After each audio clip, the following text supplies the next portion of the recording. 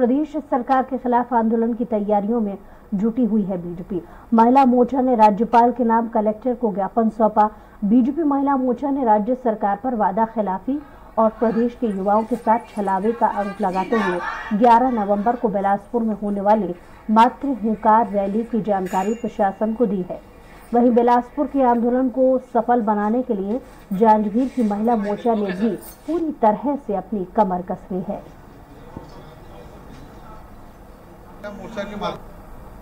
11 नवंबर को छत्तीसगढ़ प्रदेश की हज़ारों की संख्या में बहनें बिलासपुर में एक प्रदर्शन करने जा रही हैं कि जो रेडी टू ईट हमारी बहनों के द्वारा तैयार किया जाता था उसको वापस लेकर के किसी निजी कंपनी को दे दिया गया है।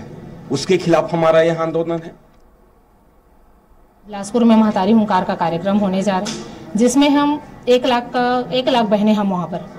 महतारी हंकार कार्यक्रम वहाँ पर शामिल होंगे और यहाँ से जांजगीर चांपा ज़िले से हमारा पाँच हज़ार की संख्या में महिलाएँ यहाँ से अधिक से अधिक संख्या में पाँच हज़ार की संख्या हमने टारगेट रखा है कि पाँच हज़ार बहनें हम वहाँ पर जाकर के महतारी हंकार कार्यक्रम में शामिल हों।